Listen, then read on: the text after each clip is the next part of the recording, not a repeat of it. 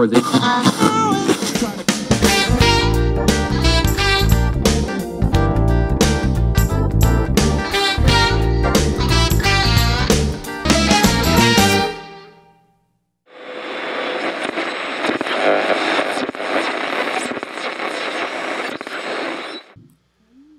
Comemorando 100 anos do rádio no Brasil, hoje temos o prazer de receber aqui no Laboratório de Comunicação da Uniso, nesse projeto do Laboratório da TV e Rádio Uniso, o apresentador, o locutor e também noticiarista esportivo Lauro Campos. Ele que já passou por Rádio Vanguarda, Rádio Clube, Rádio Cacique, Rádio Manchester, Rádio Metropolitana, Rádio Cruzeiro e também em São Paulo, na Rádio 9 de Julho.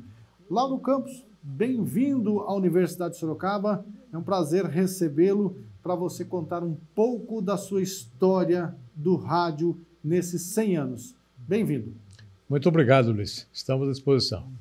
Lauro, como é que você começou a trabalhar no rádio? O que, que deu em você falar, gosto disso, me encantei pelo rádio, é isso que eu quero para a minha vida?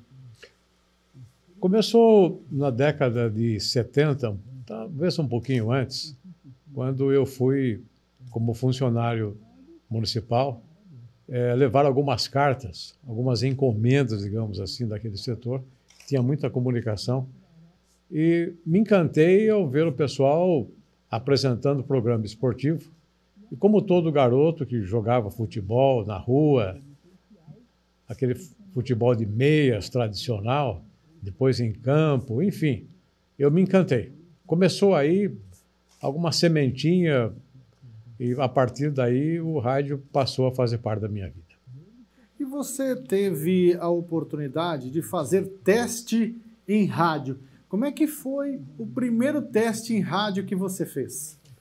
É, foi muito gozado, porque um amigo me avisou sobre é, os testes numa emissora de rádio da cidade. Por acaso foi a Rádio Vanguarda. E chegando lá bem cedo, às sete horas da manhã, havia ali alguns comércios. E eu achei que o pessoal ia para dentista, comprar algum produto, ou abertura de uma loja. A Ducal estava nas imediações, o camiseiro também. Então eu acabei ficando na fila e até um pouco descontente e achei melhor ir embora. No que um dos funcionários da emissora que me conhecia, até por transitar naquela região ali de Rua São Bento, Rua 15 de Novembro, Disse: está com pressa, você vai trabalhar. Que horas você entra? Às 8 horas. Ok, vamos fazer então uma gravação. A gente fez rápido, um, teste rápido, fiz algumas leituras, uh, parte esportiva, algum comercial de, de rádio da época, e de repente ele falou: ok, tá beleza, a gente se comunica com você. Nos próximos dias a gente volta a falar. E eu fiquei com dor no coração, porque assim que terminou o meu teste, uh, um dos funcionários dispensou praticamente a metade da turma. E foi aí que eu senti que eu poderia trabalhar em rádio. Quer dizer, foi um aprendiz, né? uma verdadeira escola, na verdade. Salomão Pavlovski, então, começou ali essa história na rádio e ele era um grande eh, narrador esportivo também, gostava. Você fez parte da equipe dele, então? Exato. Eu cheguei até a fazer algumas partidas de futebol é, Enio vinha de São Paulo, que era um narrador muito conhecido, era gerente do Hotel Danúbio. Ele, com os compromissos eh, que tinha sociais, recebendo as meninas de todo o estado de São Paulo para o Miss São Paulo, é, esteve por três, quatro vezes ausente. E aí, no empapar com o Celso Luiz, eu acabei narrando o jogo, porque os dois faziam ou comentavam, ou ainda a gente tinha, esse, uh, tinha essa oportunidade de estar ouvindo os narradores, né? e a partir daí a gente começou a fazer também algumas narrações, não de boa qualidade, mas quebrando o galho, digamos assim, o que foi bem aceito pela emissora. Lauro, você passou na Vanguarda, aí já passou em outras emissoras, Manchester, Vanguarda, Cacique, é, a Rádio Metropolitana. Como é que você se encantou é, em fazer esporte dentro do rádio e qual, nesse momento, qual é a rádio que você fala assim, esta rádio eu deslanchei para o meio esportivo? Foi a Rádio Cacique. Nós tivemos a oportunidade de montar uma grande equipe, trazendo narradores da própria cidade. é, entre outros o Valentim dos Santos. Ah, posso lembrar aqui mais quatro ou cinco nomes, até esquecer de alguns. Décio Fernandes, é, Jarbas Duarte, é, Edno Camargo, entre outros. E já tinha dois narradores também na casa, que era Valdir Gentil e mais Jair Soares. Então formou-se um grupo muito forte e eu montei uma equipe, preparamos uma equipe da qual eu também participava para fazer os jogos do São Bento, fazer os jogos do Campeonato Varziano na cidade, passamos a ser voz do Campeonato Varziano. A gente iniciou essa atividade no rádio com essa finalidade e deu um resultado extraordinário. E quando São Bento uh, tinha jogava fora da cidade de Sorocaba em horários diferentes, nós fazíamos alguns jogos no estado de São Paulo, nos grandes centros, digamos assim, como Pacaembu, Morumbi, Rio de Janeiro, Porto Alegre, Belo Horizonte. Aí a gente espalhou toda a equipe, um pessoal muito bom, de grande categoria, e que trouxeram excelentes resultados para a emissora de rádio. Além desses jogos nacionais, até internacionais que vocês faziam, você também se apaixonou por duas modalidades. Uma que é o Cruzeirão e também o Campeonato Varziano. Qual é a sua paixão ainda hoje, Lauro? Campeonato Varziano ou o Cruzeirão, ao qual você prestou grande serviço para a cidade de Sorocaba? Eu, eu tive o privilégio é, de, a convite do professor Otto Veneto, com quem eu trabalhei na educação e saúde, no setor municipal, de estar lá no ginásio municipal de esportes acompanhando o Cruzeirão. Eu acho que foi juntamente com o Dorinha e tantos outros companheiros, Alexandre Moreto, por exemplo, de acompanhar o Cruzeirão com outros meninos também, jornalistas da cidade, e conhecer bem o Cruzeirão, os grandes espetáculos, os grandes jogos, casa cheia, expectativa que se formava durante toda a semana, na fase, na reta de final, na semifinal e na grande final, de ficar pessoas é, querendo entrar no ginásio em filas lá fora não puderam entrar. Então, em grandes jogos, a gente teve realmente essa paixão pelo futsal, por ser um futebol de toque de bola, de muito contato, de muita raça, de muita qualidade, de muita técnica, se diga de passagem, e também o campeonato varziano, da qual a gente começou a dar voz, e aí veio também as emissoras, eh, outras emissoras da região de Sorocaba, acompanhar o Cruzeirão, que era, sem dúvida, e continua sendo um grande espetáculo da bola pesada. Mas, de fato, uh, o campeonato varziano nos chamou mais atenção. Era gratificante para todos nós acompanharmos a chegada dos jogadores, a expectativa, isso por conta de que cada jogador levava ou a noiva, ou a namorada, ou toda a família para prestigiar. Então, até hoje, o campeonato varziano não só de Sorocaba, como de Votorantim, Piedade e outras cidades, arrastam grandes massas, digamos assim, para acompanhar os jogos. Então, é o chamado futebol de raiz que existe até os dias de hoje. Você comentou aqui sobre o Otto Vei, que o levou para o Cruzeirão. Você também é, é, acompanhou bastante o trabalho dele num sistema de som. Como é que era essa história aí, Lauro?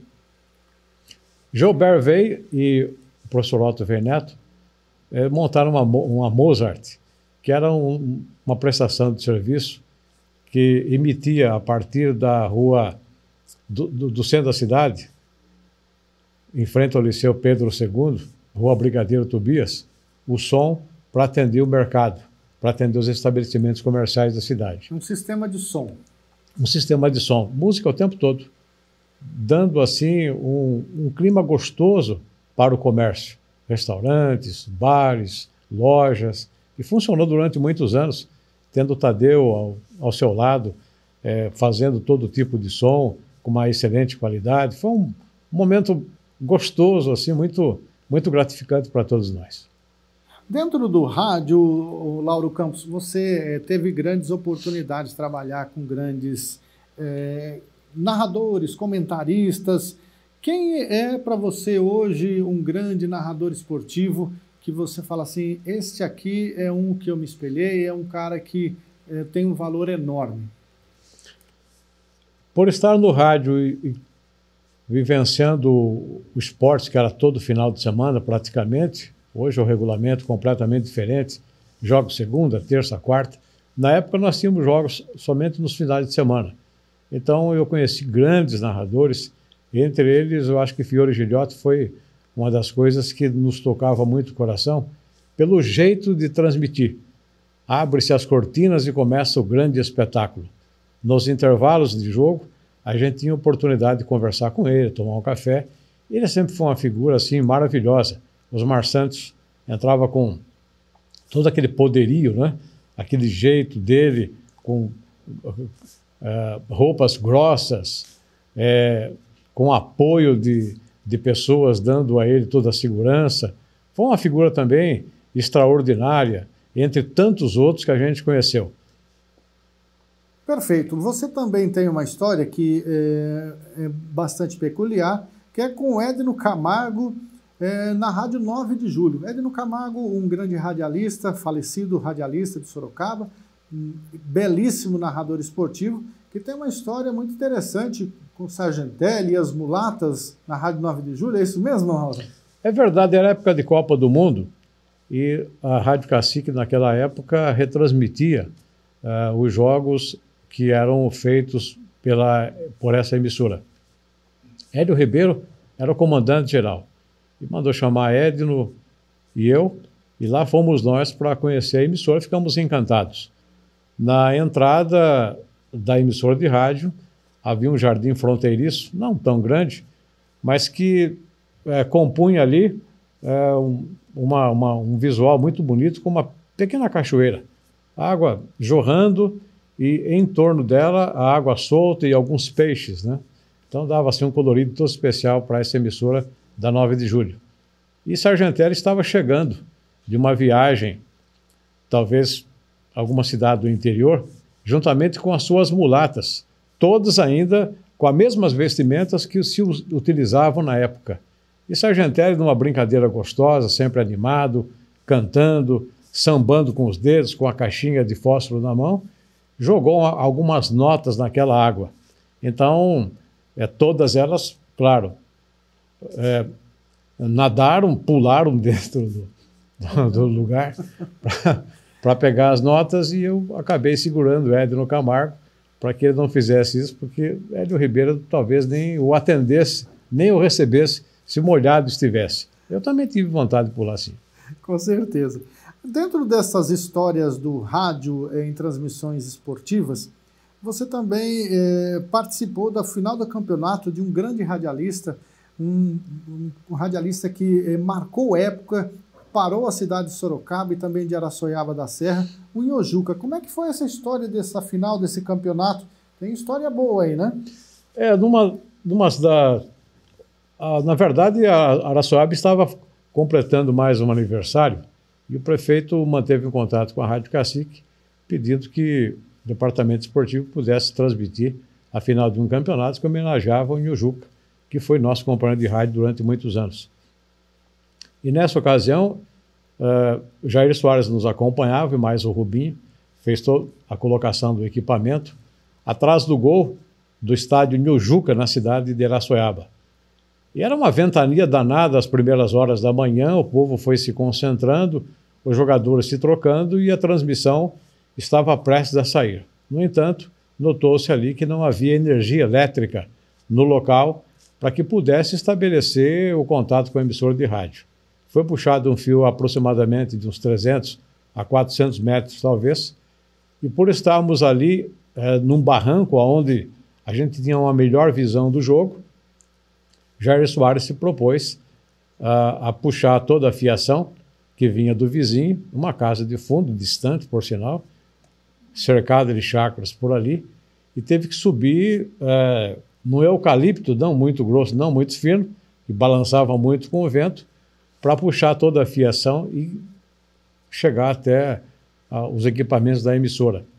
Depois de todo aquele susto, aquela expectativa toda, eu fiz a abertura, ele passou a narrar o jogo e no meio do jogo, no meio, no intervalo do jogo, por sinal, alguém chegando nessa casa que havia nos emprestado energia elétrica, com a cabagem de 300, 400 metros, talvez, perguntou: o que está fazendo esse fio aqui? Simplesmente desligou. Foi uma correria danada até se achar no meio do mato é, uma nova ligação para restabelecer o contato e a emissora terminou o jogo. São as histórias de radialistas dentro de transmissões esportivas. Agora, dentro do Morumbi, que já tem, já tinha uma estrutura muito grande, você também tem uma boa história, né? Você andou caindo lá no Morumbi por causa desses cabos, Lauro? É verdade, era a final de, do Campeonato Paulista e estava lá as duas equipes já postadas para o jogo. Do Cid Vanderlei Bosquilha e Apitar, chegou de helicóptero, um negócio chique na época. E o estádio estava lotado e uma das apresentadoras do, de uma emissora de televisão, do Canal 2, Sandra Breia, tem uma, uma roupagem, a metade de um time e a metade do outro. E nesse instante ela me chamou e, ao ver o crachá, Sorocaba, eu conheço Sorocaba, eu vou estar lá apresentando é, uma peça de teatro com um pessoal aqui de São Paulo, vou estar lá, o que está fazendo aqui? Assim comecei a falar que eu representava a Rádio Cacique, toda aquela fiação, muita gente ainda sendo entrevistado, os jogadores estavam chegando naquele instante. Um dos cabos uh, foi puxado é, por uma, um funcionário de uma emissora de televisão. Foi Sandra Breia de um lado e Lauro de outro. E a imagem passou no canal 2, mostrando o tombo dela e eu começando a falar alguma coisa a respeito de onde eu era e de onde eu vinha. Só foi risada e virou uma brincadeira muito gostosa. Essas histórias de esporte são muito interessantes, porque mesmo com grandes estruturas, como no Morumbi é, e em outros lugares, sempre tem esses problemas. Você também andou tomando muita chuva e muito choque né, nessas transmissões? É, é verdade. É, eu me recordo que eu estava é, entre os repórteres de, das televisões de São Paulo, atrás do gol, acompanhando um dos jogos do Pacaembu, e o tempo mudou drasticamente naquele domingo à tarde, a chuva veio com muito vento, e todos os cabos praticamente molhados, né? Eu sei que tomei um choque legal com o microfone simplesmente desapareceu da minha mão. O pessoal da Globo, que estava ali do nosso lado, nos conhecia, estarmos sempre juntos, sempre se encontrando, conseguiram um microfone pesado e eu acabei o meu serviço ali depois de um choque espetacular. Essas histórias são muito boas porque é, ficam eternizadas dentro do rádio. Agora, você teve também uma oportunidade de fazer um striptease num, num estádio de futebol, Lauro? Que história é essa? É, foi um caso atípico, de fato, porque uh, nós fomos transmitir uma, uma partida, aliás, gravar uma partida de basquetebol onde o time da Hortense fazia uma apresentação no Guarujá. E as melhores jogadoras de São Paulo formou-se uma seleção na época para jogar contra o time de Sorocaba. Calor intenso. Guarujá, é, na época de final de ano, praticamente, ali por novembro, dezembro, o calor já é insuportável na praia, que ninguém consegue nem pisar na areia. Imagine no ginásio fechado, com todos os portões fechados, com muita segurança, inclusive da, da Confederação Brasileira de Basquete, uh, trancando os portões para que ninguém entrasse. E já estava abarrotado. E num calor terrível daquele, eu achei melhor tirar a camisa para poder respirar um pouco. O Jornal da Cidade é, estampou no dia seguinte de que o locutor de Sorocaba é, ficou pelado dentro do ginásio. Na verdade, eu fiquei seminu, né? Fiquei lá com minha, meu bermudão, mas sem camisa, porque o calor era muito intenso. Lauro Campos, você também tem boas histórias dentro do basquete. É, você já fez narração esportiva de vários setores. Como é que foi narrar um gol numa partida de basquete? Olha, foi um espetáculo à parte. Uh, eu, depois de, de ver uh, os três pontos bem antes da cabeça do garrafão, eu ainda disse assim: se fosse no futebol, seria um golaço. E até hoje, Júnior, que era da TV Metropolitana na época, é, quando, toda vez que liga para mim para saber como é que estou, a gente tem se conversado, esporadicamente é bem verdade, diz assim: acabei de marcar um belo de um gol com um chute da cesta de três pontos. Paulo, você também tem boas histórias com pessoas do meio radiofônico. Você tem uma história com o radialista, jornalista Carlos Neves, que ligou para você, disse que havia batido um carro é, em um caminhão e, e você foi socorrê-lo. Essa história é verídica? É verídica, sim. Ela aconteceu na Avenida Afonso Vergueira, sob a ponte Jânio Quadros. O delegado nos ligou dizendo: Olha, nós encontramos aqui o, uma situação complicada e Neves pediu que você viesse para cá com, com asilar, porque ele bateu o carro e está uma situação meio complicada. Gostaríamos que você viesse como amigo dele. É, e, claro, se pudesse também falar a respeito disso no rádio, explicando que caminhões não podem parar aqui de, um, de, um, de uma noite para o dia, de madrugada, e o Neves, evidentemente, está um pouco machucado, o carro dele é, amassou a, a parte de, de, frente, talvez tenha que trocar algumas peças. Ok, lá estivemos e ficamos sabendo que o caminhão estava lá parado há cinco anos. E sem motor? E sem o motor. e Neves dizendo: esse motorista tem que ser multado. Ele vai ter que pagar todo o dano que ele fez no meu carro. Vira uma brincadeira extraordinária. Você também, além dessas histórias com jornalistas, também teve histórias com técnicos, né? É, o Jajá e também o seu Rubens, né? o seu querido Rubinho, que produzia microfones em cabos de vassoura, Lauro. É, tinha uns quebra-galho, de fato. O seu Rubinho inventava algumas histórias que a gente nem acreditava. Porque quando o microfone, o cabo do microfone não funcionava, ele costumava arrumar é, uma madeira, o que tinha ali nas imediações ele pegava, e ele enrolava é, até, par, até o microfone, até na parte de baixo, para que o cabo ficasse realmente bem esticado e não tivesse aqueles quebra é, que é tradicional, o cabo quebrando no meio da transmissão, aquelas coisas todas. E, realmente, o seu Rubens inventava algumas histórias, acabava dando certo ele tinha também uma grande habilidade de eh, consertar. Gravadores que quebravam, ele tirava o microfone, colocava eh, nesses eh, suportes, né? Vamos Su dizer é, assim. Suportes. Para poder funcionar e funcionava muito bem. Agora, Lauro, tem uma história também eh, contada no Rádio Sorocabano que em uma partida do Cruzeirão, você com um carro novinho, eh, trabalhou bastante para comprar aquele carro, umas parcelas para pagar, e foi fazer uma transmissão, um trabalho no ginásio de esportes, e quando voltou, esse carro não estava mais lá? É, foi uma grande surpresa. Eu não tinha essa mania de desapego como eu teria hoje. Mas naquela época nós estávamos transmitindo, já era o segundo, terceiro jogo, entre um jogo e outro, nós saímos do ginásio entupido que estava, lotado de gente, para dar um espaço na quadra para o pessoal rearrumar é, todo o cabeamento, que a gente andava de um lado para o outro. E numa dessas eu saí lá fora, tomando água, uh, me hidratando juntamente com o Paulo, que era, uh, digamos, é o prefeito do ginásio de esportes naquela época. A gente o chamava assim, assim como foi o Luizinho 2 também. E o carro estava lá. No terceiro jogo, o carro já não estava mais.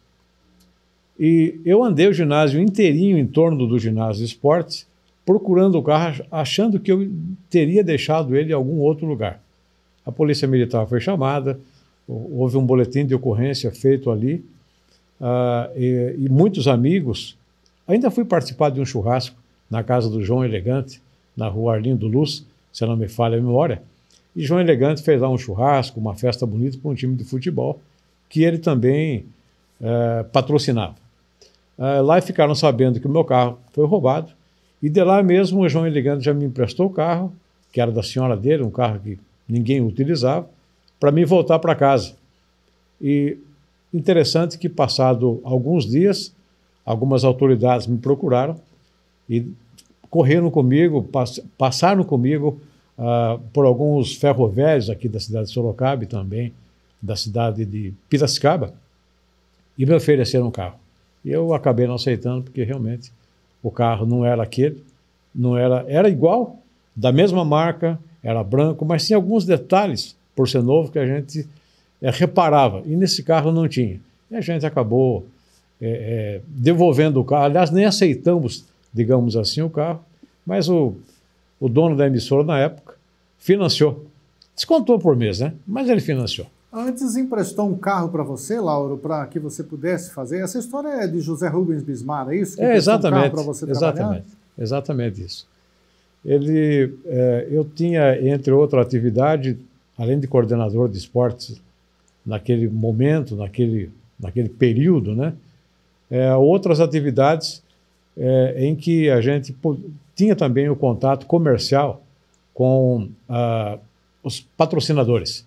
Digamos que nós tivéssemos, por exemplo, o aqui no Barcelona, em Sorocaba, fazendo um jogo do Campeonato Varziano, o São Bento em Ribeirão Preto, ou em qualquer outro estado, a gente ligava de lá para o comerciante, colocava ele no ar dizendo: Nós estamos aqui fazendo o jogo e queríamos que você falasse com a gente. Eu acho que foi um, momento marcante e por conta dessa, desse trabalho, dessa nossa vontade de poder fazer a emissora crescer, ele me financiou o carro, eh, me emprestou um carro até que eu pudesse comprar outro. E por falar em José Rubens Bismara, eh, em uma situação você foi convidado, recebeu um convite para trabalhar numa outra emissora, que até tiveram lá, ajudaram essa emissora numa transmissão, acabaram colocando as rádios em cadeia e gostaram do seu trabalho. E esse convite chegou até as mãos desse dono da rádio. Qual foi a reação dele, Lauro? Então, é um caso muito interessante mesmo, né? Eu cheguei em casa feliz da vida depois de, um, de uma viagem de uma semana para poder acompanhar a Taça Libertadores da América, que estava sendo feita, realizada no sul do país, contando para ela que nós poderíamos mudar de cidade, onde os meninos teriam até a faculdade paga eh, da escola, já eram garotos, já de 8, 10 anos aproximadamente, e que a gente mudaria de estado, eu mudaria de emissora de rádio, mudaríamos de, de áreas, digamos assim, para um outro estado em Santa Catarina. De fato, é, quando estávamos transmitindo essa partida, um empresário é, nos é, contactou pedindo que nós entrássemos, se podia entrar em cadeia com, com a Rádio Cacique, pedir autorização, e a emissora disse, não, tudo bem, pode fazer assim, só que os comerciais ele fazia separadamente no tempo que nós faríamos o nosso comercial para Sorocaba. E foi uma, um prazer muito grande para nós. Ao terminarmos a transmissão, o agradecimento, até descemos para o estádio, que tinha uma churrascaria, praticamente quase que jantamos, né? E ele fez esse convite para que a gente pudesse ir para uma outra emissora de rádio. Mas ele fez o convite posteriormente em carta e enviou para Sorocaba. Correio demorou uma semana, talvez um pouco mais para chegar. Quando dono da emissora, passado um determinado tempo, me chamou na sua sala e disse: Olha, gostaria que você renovasse comigo por mais uma temporada, você não saísse daqui. Eu estou te dando um cheque aqui como uma renovação. Diria que dava para comprar, na época, acho que um carro e meio aproximadamente, eu acabei ficando para Sorocaba. Boas histórias de Lauro Campos, que também é um metido a jogador de futebol. É um atleta hoje com 70 anos, em 2022, agora em, no mês de junho completou 70 anos. Recebeu um convite de um grande jogador de futebol e não quis ir, amarelou, Lauro Campos? Pois é, é entre os amigos todos que continuam jogando bola ainda, é, ou pelo menos tentando jogar bola, nos 25 anos do toque de primeira, o site Toque de Primeira, que deu nome, inclusive, a um programa de rádio feito na Rádio Cruzeiro do Sul durante um período de cinco a seis anos aproximadamente. O site é, ele tem essa importância de poder falar do futebol é, varziano, futebol profissional. Até hoje a gente escreve para ele ainda. Então, quando, nos 25 anos, por acaso, é, tivemos um jornalista do, do Cruzeiro do Sul, que fez uma reportagem a respeito, falando sobre a nossa atividade, é, basicamente na emissora de rádio nesse período, e no entrevistar o Falcão, ele fez uma brincadeira: olha, eu vou jogar com o pessoal aqui na semana que vem, é, entre uns amigos todos, tal, citou alguns nomes, gostaríamos que você viesse. Eu declinei. Eu não queria passar vergonha. Com certeza ia passar, né?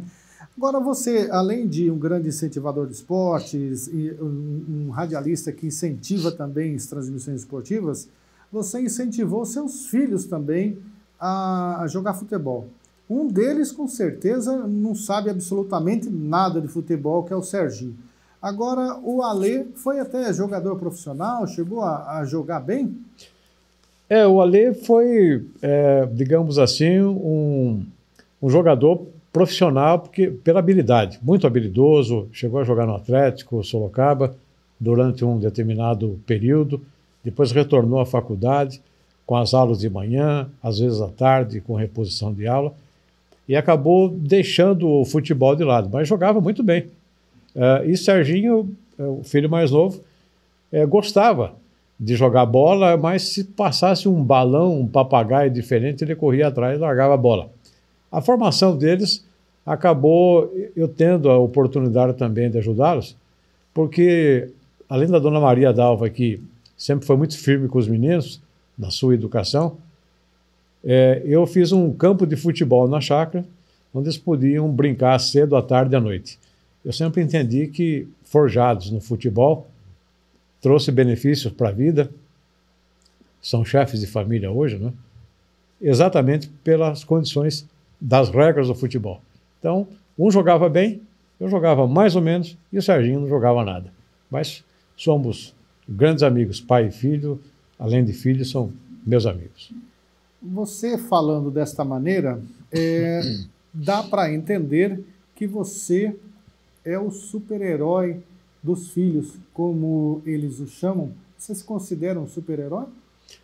Ah, eu sou um aprendiz, né? Eu acho que eu cheguei nesse 7.0 com muita saúde, felizmente, mas acredito que os meus heróis são os meus filhos, as minhas netas, a Carolzinha, a Paulinha, você que nós eu considero também um herói, porque você, uh, quando estava militando ainda na, na Rádio Cacique, era um guarda-mirim que atendia todas as pessoas com maior carinho, com maior atenção, com maior respeito.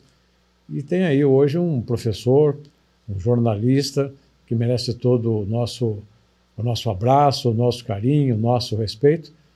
Heróis como você, Luizinho, eu acho que são muito poucos e estão é, e moram no meu coração, assim como meus filhos também. Mauro Campos sempre foi uma história viva do Rádio Sorocabano, sempre empreendedor, sempre ensinando o que aprendeu. Lauro, você já viveu esse rádio antigo que tinha que emendar fio, subir em poste, tomar choque e passou aí já para uma modernidade na área da internet. Hoje tem, eh, já passou por revista, por site, página no Facebook, continua fazendo o trabalho do radialista em uma outra mídia. Você acha que nesses 100 anos você sofreu muito com essa história, né? Que é muito difícil fazer o rádio artesanalmente. E com essa mudança, o que é que você espera para os próximos 100 anos do rádio?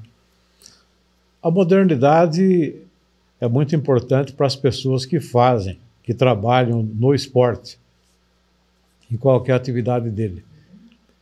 É, me recordo que alguns estádios, como em Caxias do Sul, por exemplo, é um estádio é, que tem entre o campo de futebol e a estrutura onde ficavam todos eh, as emissoras eh, de rádio, as cabines de emissora de rádio, havia um espaço de aproximadamente 80 metros. É uma coisa maluca, uma coisa doida.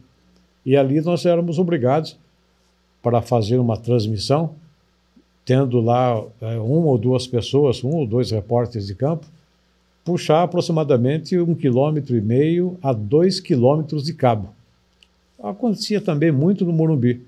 Pacaembu já era um espaço menor que as pessoas é, conhecem, mas outros estádios nós sofrimos com isso. Hoje não. Não precisa mais é, puxar todo esse cabeamento, então facilitou a vida das pessoas.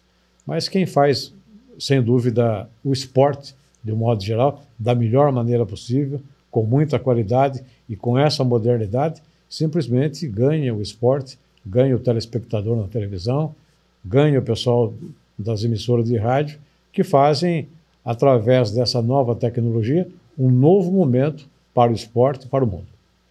Você que já dirigiu o carro com uma churrasqueira em cima, né, já sofreu bastante aí. Você acredita que essa nova geração vai ter muito mais oportunidades, Lauro, de fazer boas transmissões esportivas, de falar bem no rádio e de trazer mais informação e mais entretenimento para as pessoas?